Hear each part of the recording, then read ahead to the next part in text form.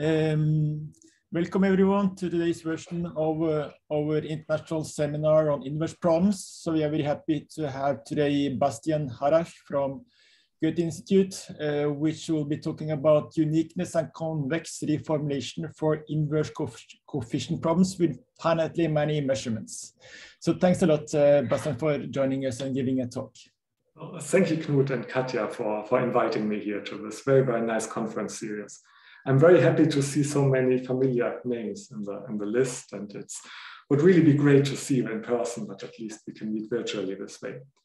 So I'd like to speak about inverse coefficient problems with finitely many measurements and some new results on them.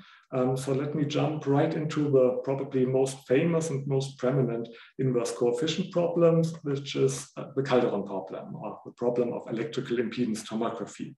So I have a, like one slide practical introduction to electrical impedance tomography.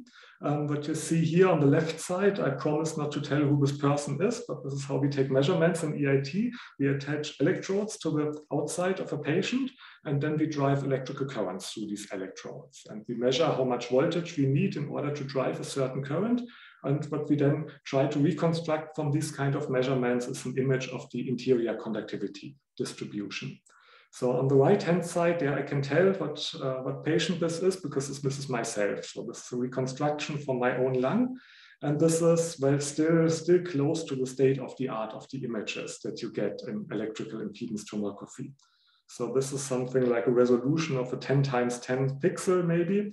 Um, and you see that this is certainly not good for detecting tumor yet, because if you can detect a tumor in this image on the right-hand side and the patient is long dead but it's still already very good for monitoring the lung, the lung of a patient. So if you have a mechanically ventilated patient, you can uh, monitor the lung with this kind of technique. And you see in this very, very rough images, you still see whether some part of the lung doesn't take part in the breathing process. So if water flows into one part of the lung, then you see this already in these kind of images, and you can continuously monitor the patient with these techniques. And so this is already practically useful right now. So mathematically, most of you, or probably all of you, are familiar with the Calderon problem that describes electrical impedance tomography. So the question in the Calderon problem is, can we recover a coefficient in a certain PDE? And this PDE describes the current flux through the patient. So U is the electrical potential inside the patient. Um, so U of X in one point is when you connect this point to, a, uh, to zero voltage, then this is the voltage between this point and the ground level gradient of U is the difference of potentials, the infinitesimal difference of potentials. So this is the voltage between two points that are very closely together. Then um, Ohm's law tells us that the voltage times the conductivity gives us the current. So sigma times grad U is the electrical current flux in the, in the patient. And then this equation number one uh, merely is a, uh, is a meaning of conservation of current flux. So the divergence of the current flux is zero means that inside the patient, the current flux does not get created or destroyed. And then what we can do on the boundary of the patient in a very idealized sense, if we have infinitely many, infinitely small electrodes, we could um, apply all kinds of currents to the patient. So we could control the Neumann boundary values, uh, sigma times the normal derivative of u on the boundary of the patient. And we could measure the resulting potential also on the boundary of the patient. So this would give, give us um, yeah, access to measurements at the form Dirichlet Neumann boundary values. And we could measure this for many, many Neumann boundary values. So in principle, we could try to measure all pairs of Dirichlet Neumann boundary values of, for all solutions of this equation number one. And this kind of set of Dirichlet Neumann boundary values, this kind of set of Cauchy boundary values, it's, it's very good to describe this with the so-called Neumann to Dirichlet operator. And we will heavily make use in the, in the next slides of this Neumann to Dirichlet operator. So we say that one measurement that we take from the, from patient means that we, that we insert all kinds of currents through the patient and we always measure the resulting voltages if we are on the boundary. And if we can do this very, very idealistically, then we would get the operator that maps the Neumann boundary values to the Dirichlet boundary values. And this operator is what we can measure with the patient. And um, the, this operator will depend on the conductivity sigma. So let me stress here that this lambda of sigma, so the Neumann to Dirichlet operator is a linear operator. The Dirichlet boundary values depend linearly on the Neumann boundary values. It's a very nice, well-posed linear operator. It can it maps from L2 space, uh, so L2 functions on the boundary to L2 functions on the boundaries. And you have to factor out constant functions because of the ground level that can be chosen. But this whole Neumann-Dirichlet operator depends non-linearly on the coefficient of the PDE. So what we can measure is for one sigma, we can measure the whole Neumann-Dirichlet operator. And what we have to do then is we have to somehow invert this kind of nonlinear mapping from the conductivity coefficient to the Neumann to Dirichlet operator. And of course, we are probably all aware of all these very important and, and very deep going questions that come with the Calderon problem. So first of all, the question, is it possible? Does our, this Neumann-Dirichlet operator, does it uniquely determine the conductivity coefficients? And let me stress here that in this idealistic mathematical sense that, that we mathematicians usually look at, we have infinitely many unknowns. So sigma is, let's say, an L infinity function, or maybe some kind of Schmooth function, some Lipschitz continuous function, or something like that. But it comes from an infinite dimensional space. So we are looking for infinitely many unknowns.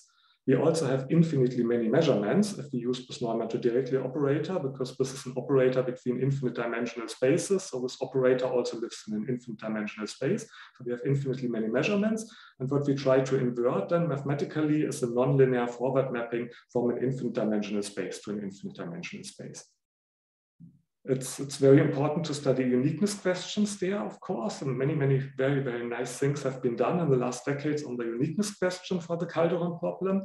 Um, many, many nice things have been done on the stability questions of this Calderon problem. So in the infinite dimensional sense, this is very, very unstable. This is exponentially ill-posed. But as soon as you start to restrict your solution space, then, then you can even show some stability results, or you can show how ill-posed this kind of thing is. And of course, it's important how to practically do this. So how can we determine this conductivity coefficient from the Neumann Dirichlet operator? Do we have some kind of numerical algorithms for them? Do we have convergence results for these algorithms, local or con local convergence results?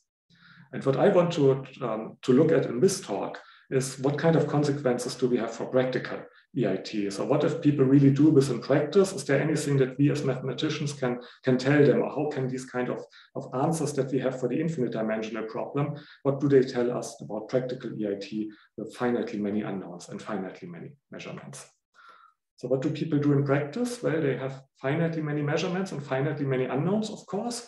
And the well, probably most popular and most natural way of treating this is to say we have some kind of pixel partition for the patient. So we assume that our conductivity distribution is piecewise constant with respect to some known partitions. So we just divide the patient into pixels, maybe uniform pixels, maybe we make them larger in the inside because we believe that the resolution will be worse, but we have some kind of pixel partition. And what we want to find out is the value of the coefficient on each of the pixels. So this gives us finitely many unknowns. And of course, we also have only finitely many measurements. So um, a good model would take the electrodes into effect. And for this talk, I will just concentrate on a very simple model of finitely many measurements, which means that I say I don't measure the Neumann-Dirichlet operator on the whole space of L2 functions as boundary currents, but I only have finitely many boundary currents. And I measure the Galerkin projection of the Neumann-Dirichlet operator to this finite dimensional space of finitely many boundary currents.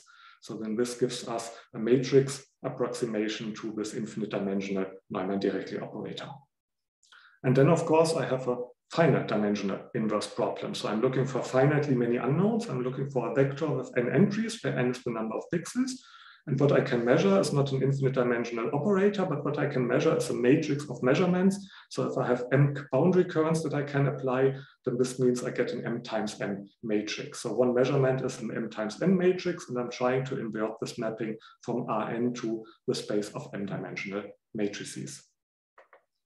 And then, of course, there are many practical questions. It's a just a finite dimensional problem, but the PDE is still there. So this kind of f of sigma, this function, the forward mapping going from a finite dimensional space to the finite dimensional space of matrices, this involves solving a PDE and then going back to uh, the Neumann-Dirichlet operator, projecting it back to the to the Galerkin projection. So this means for one evaluation of this operator, uh, capital F uh, means I have to solve one PDE for many, many Neumann boundary values. And then, of course, there are many practical questions. So if I have a fixed desired resolution, so of my fixed pixel partition, then the big question, of course, is how many measurements do I need to uniquely determine my sigma up to this kind of resolution? Um, then, of course, the question is, do we have stability or error estimates for noisy data? So if we have some kind of noise in the data, how much effect does the noise have on our reconstruction? We want to have numerical algorithms to actually invert this finite dimensional nonlinear mapping. And inverting uh, nonlinear mappings is always complicated. There are some generic methods out there, but you need certain assumptions to get local convergence, and you usually don't get more than, than local convergence. But do we have these kind of, of results? So if you use some kind of Newton method or Levenberg-Marquardt method or any kind of standard method on that problem, can we guarantee that we really converge against the right solution? And what I will concentrate on in this talk, or what I will do next, is, is concentrate on the problem of local convergence and speak about the fact that this is really a problem of having just local convergence. I want to give you a bold guess, and I will give you some, some complete answers for, for Robin problem and also some, some first answers or some, some answers also for the, for the EIT problem. So could, let me- Could I ask a question? Yes, please. Uh, so I didn't quite understand. How did you construct that matrix F from which you want to uh, recover sigma? Yeah. So mathematically speaking, this is the this quadratic form, so this linear operator, and then um, this thing is applied to a boundary current, and again multiplied by a boundary current, and then integrated over the omega. So the physical meaning of this thing is if J is equal to K, then this is the energy that you need in order to keep up a certain boundary current. So this is something that you can actually measure for, for J equals K. And if you can measure it for all boundary currents, also for Gj plus Gk and so on, then you can calculate the other entries from that. So this is something that you can physically measure on a patient. And it's also a model for, for more complicated electrode models. So if you have more complicated electrode models, then this gives rise to very, very similar expressions than to this thing. Did that answer your question? Um, so you choose arbitrary uh, currents G1 through GM to do this? Uh, yes, I will give an example right now. Okay. So let me give you an example with, with very, very few unknowns. So this is a very simple example of EIT with two unknowns. So we have a circular domain and we have in the outside, we have a conductivity of one. Then we have in this middle ring, we have a conductivity of sigma one. In this inner circle, we have a conductivity of sigma two. So this means we have two unknowns, sigma one and sigma two. Then I can, and, and what I measure is uh, for six boundary currents, I measure the Galerkin projection.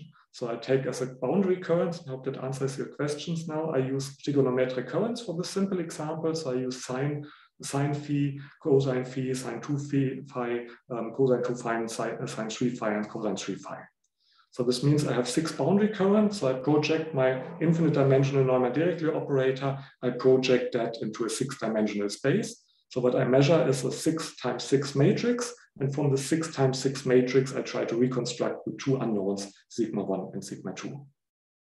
So I have 36, it looks like 36 measurements, but in fact, it's only three real measurements because for the simple example, the, the matrix will be diagonal and also um, there's always two diagonal elements will always be the same because of the circular symmetry. So this means there are really three informations and I try to reconstruct two parameters from the three informations. So still this is formally overdetermined, so I could uh, do that and see can I, can I reconstruct these two unknowns.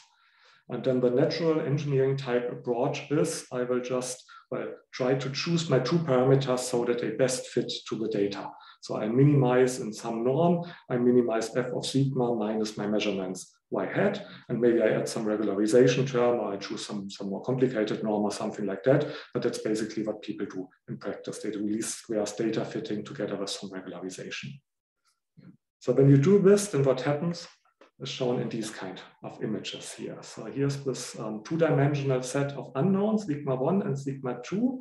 And maybe we start with the right image. What I show on the right image is the residuum functional. So the data fitting functional, how good that is my data fitted if I choose sigma 1 for some value and sigma 2 to some value. And you can see that there is, there seems to be a global minimizer. So it seems numerically that this problem is really uniquely solvable because for sigma one equals one, uh, one and sigma two equals one, we get um, we get the best data fitting, and there's no noise added and inverse crime done and all these kind of things to make this really a, very it's very academic example. But you also see that this kind of functional has a many many local minimizer.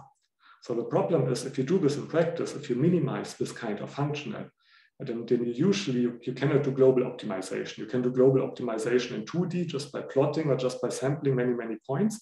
But even for a 10 times 10 image, we have 100 dimensional unknowns. And in 100 dimensional spaces, you cannot do global minimization anymore. So you all, so you will resort to something like gradient or Newton type schemes, and they always get stuck in local minimizer.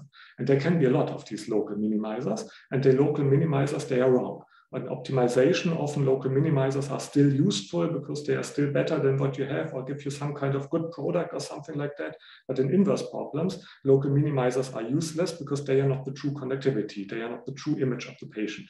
And you see in this image that the true minimize, uh, the local minimizers, they can be also far away from the, from the true values.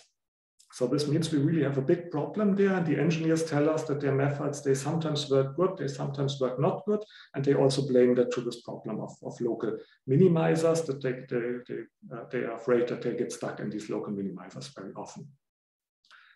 And it seems that, that not much can be done about that because this residuum function is really highly non-convex. There are many local minima. And this is usually the reason why people say that impedance tomography is not just highly ill-posed because of this exponentially um, unstable instability, but it's also, it's also said to be highly nonlinear. And what people mean with highly nonlinear is typically this kind of effect that the residuum functions get highly non-convex. You have a lot of local minimizer and you have all these problems connected with that. But let me show you another image. So what I show you on the next slides is this gray zone is the set of all sigma where f of sigma, so my, my measurements or my data that are my simulated measurements, where they are smaller than the actually taken measurements in a matrix sense, in the sense of the so-called Loewner order. So these matrices, they are always symmetric um, that comes from the from ellipticity of from symmetry of the PDE. So matrices are always symmetric. So f of sigma is a symmetric matrix, y hat is a symmetric matrix, and I say that one symmetric matrix is smaller than the other symmetric matrix if the difference is positive semi-definite. So if the difference has only non-negative eigenvalues. So what I plot in this gray set is where f of sigma is smaller than y hat in this Loewner order of semi-definiteness. And then what you and I plot this for three different true values of the conductivities. So one, one, and three, uh, half, one, and, and uh, three half, and one half.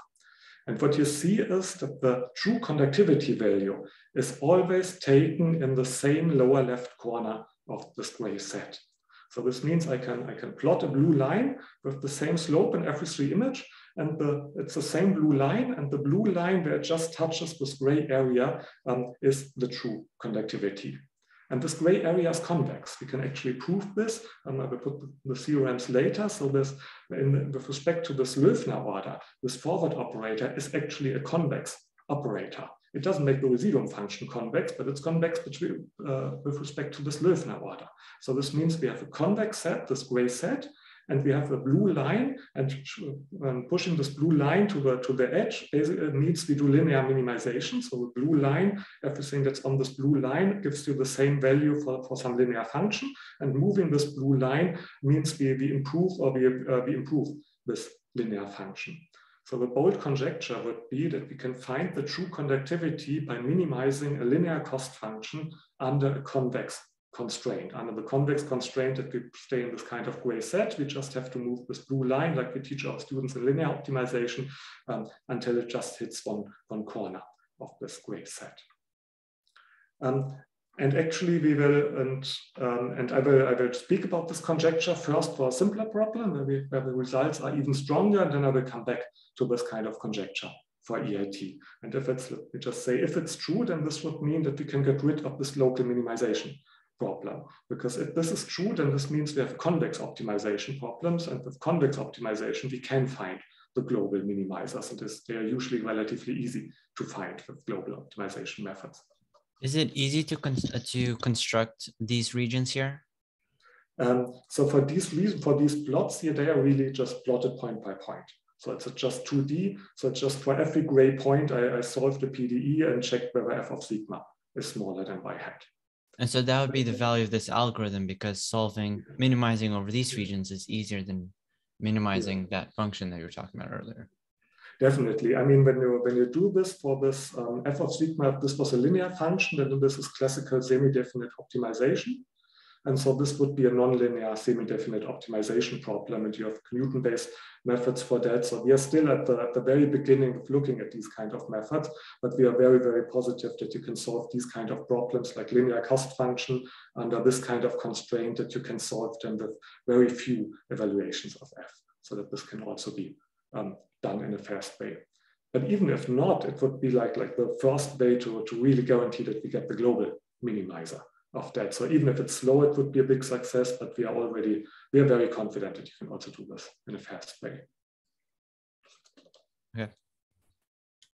So, so let me speak about this conjecture first for a simpler inverse Robin coefficient problem, which is also how we, how we started looking at this problem. So I'm looking at a simpler version of electrical impedance tomography, um, which is uh, motivated, I should say motivated really by, by corrosion detection. So let's say you have a cement pillar like from a bridge and you have some kind of steel rebar, some steel reinforcement inside the cement pillar and you have some corrosion or you're afraid that you have some corrosion on the boundary of this rebar.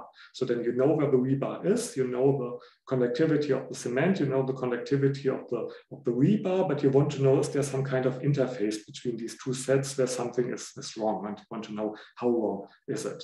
So you do electrical impedance tomography, you apply electric currents, you measure the necessary voltages, and then you try to detect is there something wrong on this kind of inner boundary that we have here.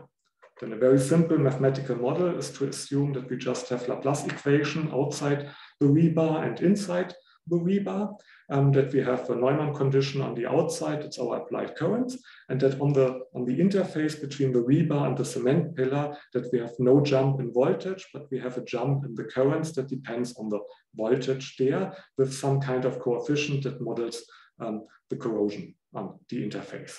And then we can pose the same question. Can we uh, calculate this kind of Robin coefficient on a known interface inside the domain? Can we calculate this kind of interface coefficient from the Neumann-Dirichlet operator. And that looks very, very, very similar to, to electrical impedance tomography, but it's actually much simpler. First of all, because we have less unknowns, we only need the sigma on this inner boundary gamma.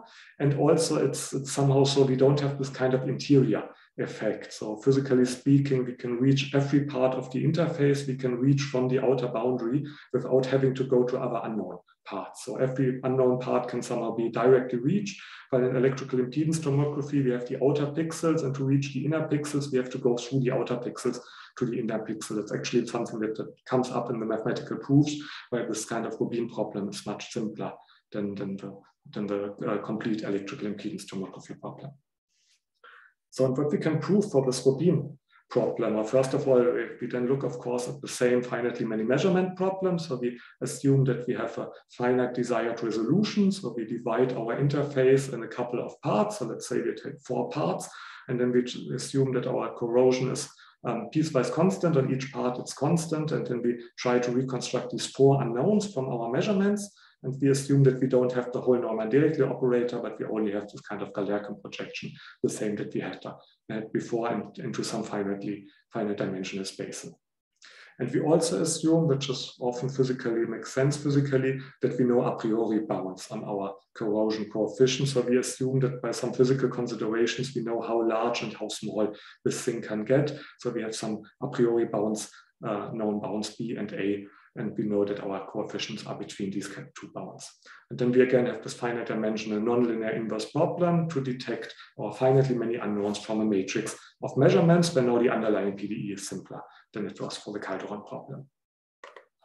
What we then what we can prove then is the following. We can, first of all, we can prove that we have uniqueness. So we can prove that if we have sufficiently many measurements, so if our Galerkin projection is taken to a sufficiently high dimensional space, then in fact our measurements uniquely determine this corrosion coefficient on the boundary. And of course, if we take a finer partition, if we take a finer resolution, we will also need more measurements. So this is really um, a uniqueness result if we have a fixed partition, if we have a fixed desired resolution, if we have fixed upper and lower bounds, then there exists a number of measurements so that our measurements uniquely determine the unknown. So we can solve this finite dimensional uniqueness question and we can prove our bold conjecture for that case. We can prove that our true conductivity or true, our true um, corrosion coefficient is the minimizer of a linear cost functional, a very easy linear cost functional in that, in, in, for that problem. We just have to sum up the values sigma j. Um, so we have a linear cost function and we minimize this linear cost function under the constraints that our um, our sigma is in the space A, is in this in this box A, B, N, so belongs to, uh, obeys the a priori bounds, and that f of sigma is smaller than this y hat. So this means we have proven exactly what I showed you in the image. We have this gray set where f sigma is smaller than y hat, and we have a linear cost functional that we minimize under the constraint that we stay in this gray set. So we have a um, we have a line, we have a diagonal line, and that has to be moved as much as possible. And when it just hits the gray, when it starts leaving the gray set, the corner, there is the true conductivity coefficient. So this means our, our solution of the inverse coefficient problem is the minimizer of a convex semi-definite optimization problem. Oh yeah, because we can also prove the constant set set is indeed a convex set. So this means that we can solve the problem by convex semi-definite programming. Means that global convergence is actually feasible. And um, in fact, we started out like this uh, note there. We started out with, with proving uh, the Newton method that there's it's actually possible to have the Newton method globally converging for this Robin problem, but now it's an even more flexible method that can um, that can give us really global convergence to really find the global minimizer of our problem, the globally right solution. So for this Robin problem, our results are, are, are really strong, I would say, because we can also characterize how many measurements are sufficient. So, so this result up to now is just saying, well, if we have enough measurements, but of course we want to know if we want to have a certain resolution, how many measurements do we have to take in practice to have this kind of resolution and in order to have this equivalence to the convex optimization problem. And for this Robin problem, we have an explicit criterion for that. It's a little bit technical, but let me um, try to, to, let me point you to this to this blue expression. I hope you can see my mouse here. So we have an explicit criterion that tells us when the measurements are enough. So the criterion means we have to evaluate a directional derivative of the forward operator. So this f was the finite dimensional forward operator. So f of um, sigma means that we have to solve the PDE for sigma, and then we project the Neumann-Dirichlet operator and the Galerkin, uh, take the Galerkin projection. And from this mapping, we can also calculate the derivative. That's relatively simple. Then we have to take the directional derivative at some point in some direction, where we have explicit formulas for the point and for the direction. And what comes out then is a matrix, because f is a matrix valued operator. So this means directional derivatives are matrices. And then if these matrices have a positive eigenvalue, so we look at the directional derivative in certain points in certain directions for finitely many points and finitely many directions. So you can just, just calculate them for computer by solving finitely many PDEs. Then we take, then we have these finitely many matrices, and if all these finitely many matrices have one positive, at least one positive eigenvalue, then our criterion is fulfilled, then we have uniqueness, and then we have the convex reformulation. So this means in practice, we cannot a priori calculate from a resolution, we need 20 currents in order to, to get this kind of resolution. But what we can do is, if we want a certain resolution, we can just increase the number of measurements. And by increasing the number of measurements, we can check this kind of criteria. And we can guarantee that this criterion will be fulfilled at some, if we have enough measurements, this criterion will be fulfilled. So at some point, this criterion will be fulfilled, and then we know now we have enough measurements. So with this, we, we can program the computer in such a way that the computer tells us now you have enough electrodes in order to detect your unknown with the resolution that you want to have. So that's an explicit, easy to check criterion. And for the simple Robin problem, we can really characterize this achievable resolution with the help of a computer program. You still have to, to evaluate these kind of directional derivatives. But that's finitely many, so there's, there's nothing more involved in that. And we also have, for this Robin problem, we have an error bounds. We have stability and, and, and noise estimates. So if this criterion holds, then we have all these kind of matrices and all these matrices have a positive eigenvalue and then the smallest of these positive eigenvalues, that's something that we can calculate. So that gives us this parameter lambda and this parameter lambda that appears in a error estimate. And let me stress that this is really not just a stability estimate, but an error estimate. So you're probably aware of the difference. If you have a stability estimate, it means if you compare f of sigma with f of tau, then how close are sigma and tau if you know how close f of sigma and f of tau are. Um, but in reality, what you measure is not usually in the range of your nonlinear forward operator. So in reality, what you measure is something that's not in the range of f. So there's usually a step in between with the stability results and the, and the noise estimates or error estimates. And what we have here is really an error estimate. If we measure something that uh, has a distance of delta to the true measurements, um, and if we do this kind of semi-definite optimization problems with the noisy measurements by delta, and we have to regularize this a little bit so that the constraint set is not empty. So I have to, to minimize this kind, uh, we have to, to define the constraint set in such a way, but that's still convex. Then we can show that um, there are minimizers, probably not unique or maybe not necessarily unique, but there are minimizers of this kind of uh, semi-definite optimization problem. And every minimizer is close to the true solution with this kind of parameters lambda and delta involved. So if delta goes to zero, then these minimizers of the approximated problems tend to the minimizer of the true problem. So this means we really have explicit error estimates where we can even calculate this lambda that's in there. So lambda will become worse and worse if you have more and more unknowns. And there's also n inside, so that becomes worse and worse. So of course, the ill-postness is still there. But if you have a finite number of unknowns, then we have this kind of Lipschitz stability. So these are some, some really nice results for the Robin problem. Let me say a few words about what, what's, in, what's involved in the proof. So first of all, what we have is uh, monotonicity and convexity with respect to this Loewner order. And that's actually something that we've been using for quite some time now. For it's also the basis of the monotonicity, so-called monotonicity me method. It's, it's you can formulate the so-called factorization method. So these are shape detection methods. You can also formulate them in terms of this monotonicity and convexity in terms of the Loewner order. So this kind of matrix valued operator is really a monotonically decreasing and convex operator if you equip the space of matrices with this kind of Loewner order. And that's a very, very general thing that holds for, for very, very general elliptic PDEs and very, very general measurement models. So this kind of monotonicity and convexity that appears in all these elliptic coefficient inverse problems. And the other thing that we need is this kind of control on these directional derivatives that appear. And these directional derivatives, they are connected with um, energies. So these directional derivatives are the energy of some potential and the direction tells you where you evaluate these kind of derivatives. And uh, these kind of derivatives were, were evaluated in, for, in some directions where, where some um, entries were positives and some others are negative. So these kind of directional derivatives, they really compare the energy on some part of the domain with the energy on the other part of the domains. So these, these criterions that we had, they actually tell you that the energy of the potentials that you create with the currents is localized enough on one part of the boundary. And that's the reason why, why we get the uniqueness um, at least roughly saying. So if we are able to, to concentrate our energy on one part, then we get the coefficient on that part, and the other parts don't have so much effect because there's less energy. And that's something that we can, where, where we have a lot of control with so-called localized potentials, where we can prove that we can make the energy very large on some part and very small on some other parts. And that's the reason why we can guarantee that these kind of strange um, directional derivatives um, estimates that we need there, they will actually be fulfilled for sufficiently many measurements. And that's also something that we have for many, many elliptic coefficient problems, but it gets more complicated if we don't have the Robin problem, because then we have these kind of high energy parts, and the energy has to travel from the boundary to the high energy part. So for the Robin problem, you can just make the energy very high on, on any part of the interface and make it very small on, on all the rest.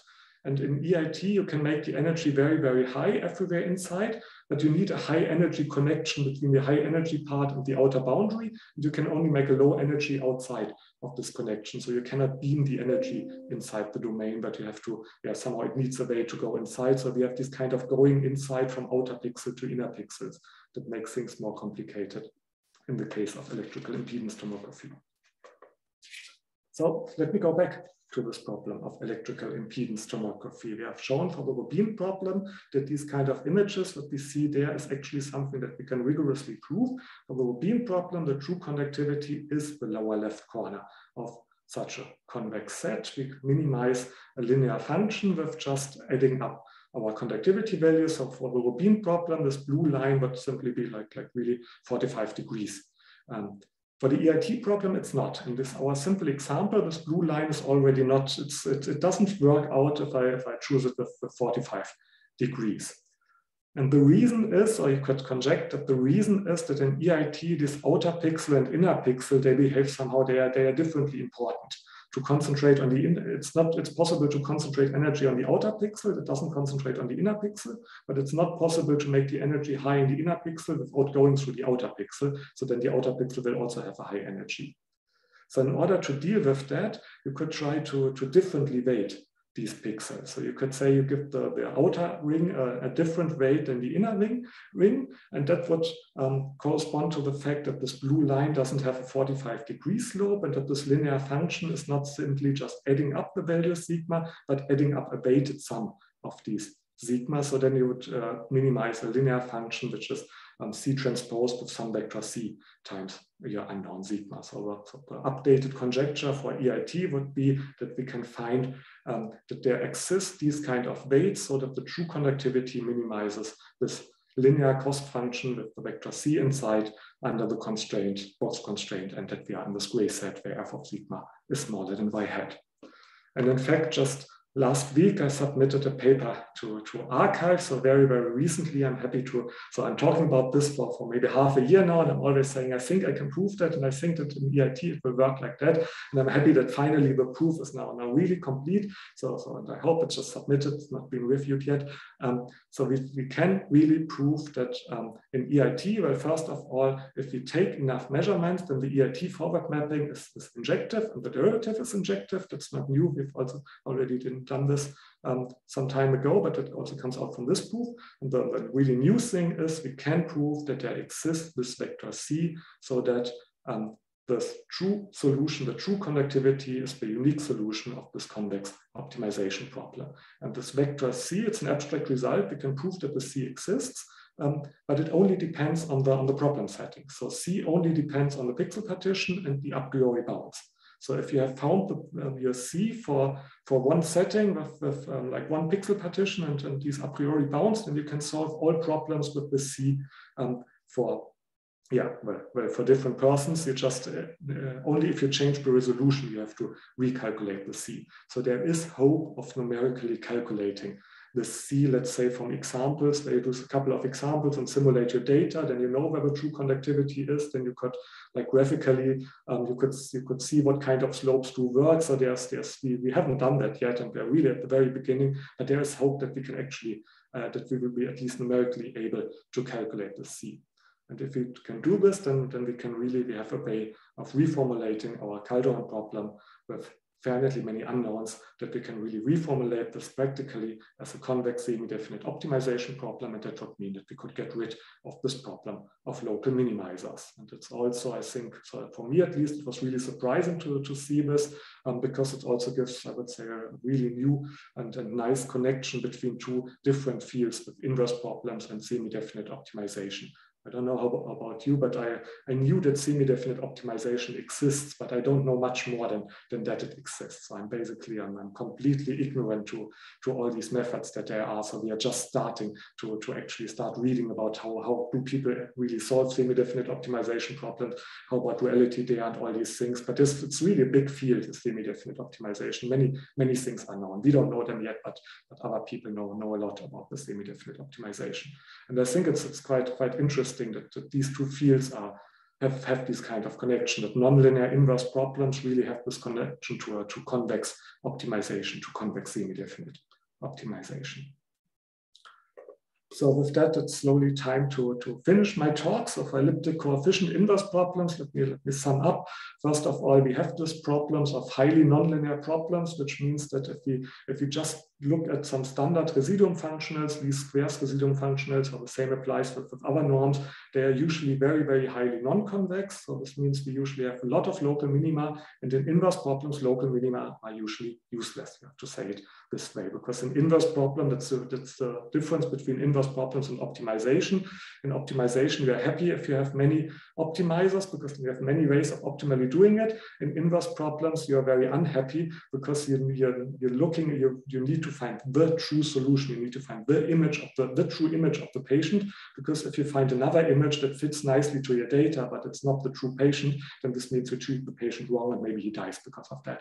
So in inverse problems, we really need the true solution and not any local minima. So, so local minimization, local minima problems are really big problem in practical applications of inverse problems. There is a possible remedy.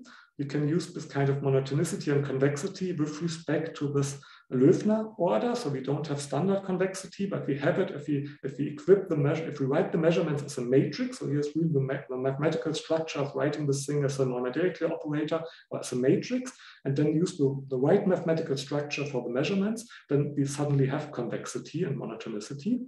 And we can combine this together with these localized potentials arguments to, to control the energy, which is equivalent to controlling directional derivatives. And from that, it's actually possible to get equivalent convexly formulations of inverse coefficient problems with finitely many measurements. So this means that globally convergent solution algorithms become possible, error estimates become possible.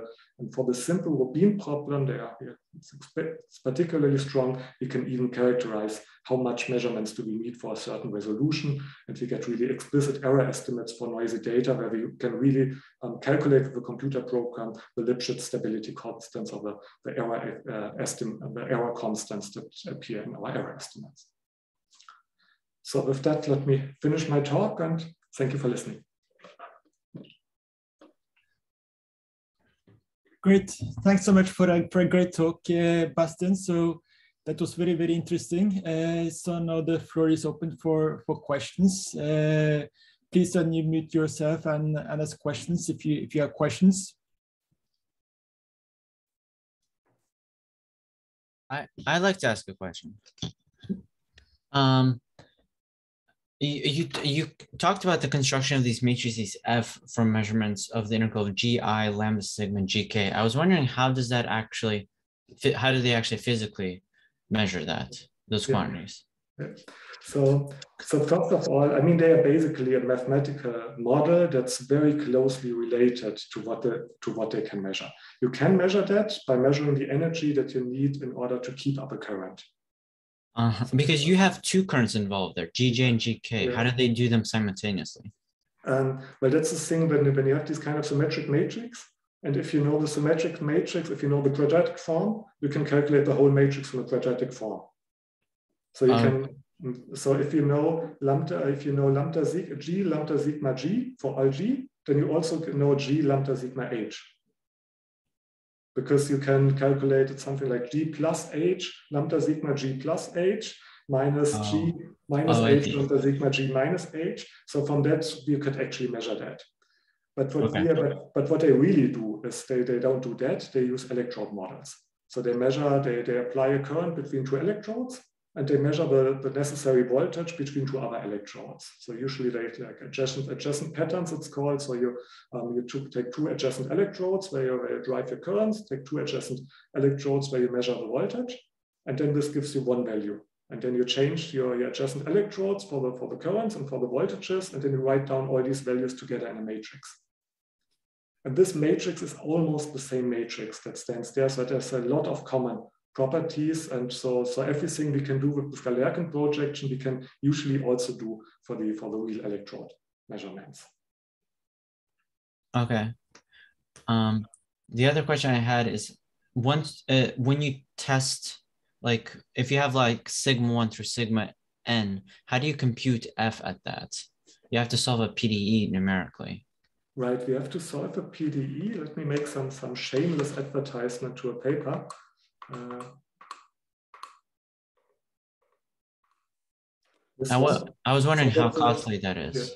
So there's a, it's an introductory paper to how to calculate, how to implement finite element methods for these inverse problems because there's a lot of nice things you can do there. So I mean, the naive way would be you, um, you resolve the PDE with many Neumann boundary values, and then you calculate from that the Dirichlet boundary values. But there's a lot of things that you can make this in a clever way. Um, and that also gives you, with, with, no extra computational burden, also the derivative at the same price at, at the forward operator. And you can, um, if you want to calculate these kind of integrals in the Galerkin projection, and you do have to do some kind of integration, and you don't have to do all this because you can really calculate this immediately from the stiffness matrix of a, of a finite element count. And we and we wrote this up in this in this Jahresberichte DMV, that's the German Mathematical Society. So that's like a like a tutorial paper on how to on how to how to really implement this in a clever way with finite element methods. Okay, interesting. Thank you for the reference.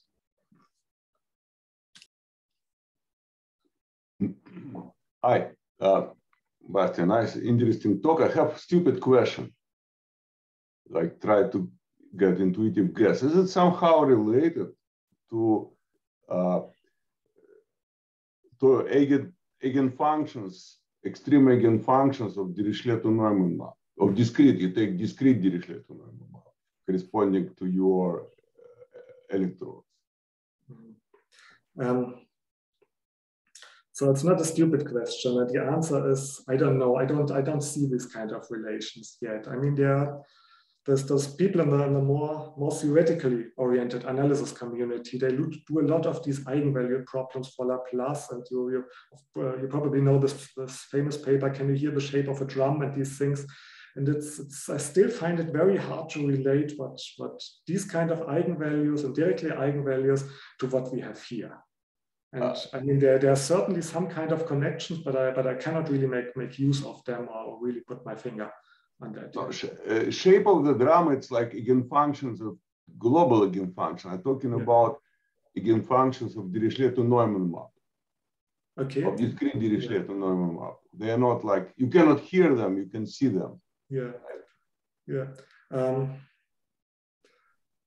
well, I mean, this this doesn't really turn up. I mean, what we have is not the, is always this directional derivative, because for, I mean, the Neumann-Dirichlet operator always has positive eigenvalues. That's always a positive uh, semi-definite operator, yeah. positive definite operator. But these directional derivatives, they can also have negative eigenvalues. And, and these are the things that we, we really look at. Or you could say, the, if you if you compare to, to Neumann-Dirichlet operators, then does the difference of the two Neumann-Dirichlet operators does this? Yeah, difference. Yeah, exactly. I would I would think of that's connected. Yeah. Yes, exactly. I would think of difference, and in fact, um, and in fact, I think this extreme extreme eigenvalue they will also concentrate this uh, potential near. Uh, they also have this concentration property. That what that uh, what. Uh, yes yeah. Yeah, that was basically origin of my uh, guess, I would say. Yeah, that's that's definitely correct. Yes, these kind of, of positive eigenvalues that we have of these directional derivatives, if you calculate the uh, the, the eigenfunction, then this eigenfunction would be a current where the energy concentrates on, on one part of the of the inner interface. So this is basically a, a current that would almost only depend on one of the unknowns. So you could say mathematically what happens is if you, if you write this in the basis of these kind of eigenfunctions, then the problems becomes somehow diagonally dominant. So this, so then, then one part of the one unknown is very, very dominant. And that's the reason why, why this, we have this uniqueness that the other parts don't, don't disturb it too much. All right. Thank you very much. Yeah, I have a question. Uh, so actually two questions. The first one is, um, if I have a parametric model for the uh, conductivity, uh, the sigma, say, so what for all kind of parameterization, you can do this, or it's only certain parameterization form, or maybe linear form or something. You can, you have this property. So we need this monotonicity and convexity, and and that. Um, where you can, you can um, put functions into each other and monotonicity and convexity of the whole function um, comes from the, from the parts that you put into each other. So if these if these things fit, so if your if your parameterization is monotonically and convex in the in the right sense, um, then this works. So with piecewise constant it works, it would work with piecewise polynomials. Um, we are, we are thinking about does it work for like an inclusion parameterization, like a shape parameterization, because then it really gets gets complicated. But in some sense, I would I would still expect some monotonicity. If you if you make an inclusion larger, then it's like increasing the conductivity everywhere. So we still have monotonicity there. We don't know about convexity. If there's some kind of parameterization for shapes that so that the, the whole operator then would be would be monotonically and convex. But that's basically the, the thing that you need. So the the parameter to measurements map that must be monotonic and convex, and then you can use this kind of machinery. Yeah, thank you. Uh, the second question is the measurement you use, you do this in a product, uh, but isn't doesn't that lose a lot of information uh, from the pointwise measurement? Yes, of, uh, of course, a lot. I mean, pointwise, like like pointwise measurements would be infinitely many information yeah. and what we have is, is finitely many values in a, in a matrix. But that's what, what the people in practice have. So they have finitely many electrodes and then they have these finitely many voltages that they have measured. So somehow you make your purposely make your measurement to be convex and monotone uh, in some sense. Yes. Okay. Um, so the question is, is, is those information you lost, um, you know, maybe for some, something you, maybe, can it create more ill-posedness or instability um, in some sense? That's a that's an interesting question. That's very hard to answer mathematically because if you only have finitely many measurements, I mean, you can only reconstruct finitely many unknowns. So, so as soon as you do this, you, are, you have a finite dimensional problem. And finite dimensional problems, in some sense, are, are never ill-posed. So mm -hmm. I mean, the, uh, the ill-posedness that we usually deal with in, in, inverse problems comes from infinite dimensions. And as soon as you're finite dimensional, you for, for many, many problems, you have Lipschitz stability results also, also here. Um, so, so we are, you are Lipschitz stable as soon as you go to this, to this finite dimensional case. But of course, it gets worse and worse when you have more and more. And numerically, in some sense, if we have less measurements, we would expect that the problem is somehow more ill-posed. But it's, it's, I wouldn't know how to, how to really put my finger on that. I mean, you could try to calculate the Lipschitz stability constant and see if the Lipschitz stability constants are worse for, for fewer measurements than for, for more measurements. I mean, in that sense, you could try to, to measure the ill-posedness. And at least for the Robin problem, we can, we can measure, or we can calculate the Lipschitz stability constant. So for that, you could actually test it, yes. Thank you.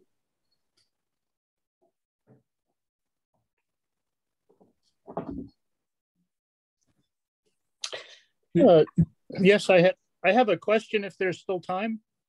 Yeah. Uh, hi. Uh, Hello? Hello. I can ask? Okay. Uh, that was a very nice talk, by the way. Thank you very much for a very nice talk. Very interesting uh, ideas. Uh, I wanted to know how you made the very first picture of uh, what looked like uh, a ventilation image. Yeah, that's an embarrassing question because what we do here is uh, just one step linear, one step Newton method. So we do um, like NOSER, but, but with, I think, with a different regularization. So we just do one, one linearization step on the, on the parameter to, to data mapping. Okay, and what was the uh, electronics, the system that you used? Um, that was this Göttingen system. From, That's the Göttingen system? Okay. Yeah, this kind of early Göttingen prototype. So it's a bit, little bit old picture. It should be around like maybe 2008, 2009. So that was with this um, GOEMF something. Okay, thank you very much. I enjoyed your talk. Thank you.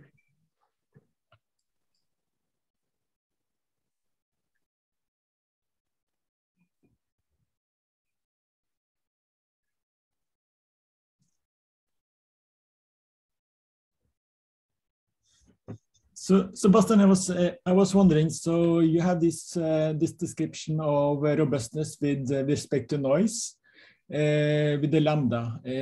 can you somehow use this to to optimize the parameterization for a certain noise model, say? Yes, um, that would definitely be an interesting thing. So what we are doing there is our PhD student of me with uh, Andre, who's also in this talk, if you want to talk to him. Um, so he's now implementing these things for, for an electrode model. And then, of course, it makes sense for an electrode model to, to actually calculate the lambda. And then you can do all kind of interesting things, like how many electrodes, um, how does the lambda improve if you take more electrodes, and does the position of the electrodes, can these be optimized in order to get a better lambda? So there's a lot of, of nice things that, that you can do there just by calculating the lambda, yes. Great.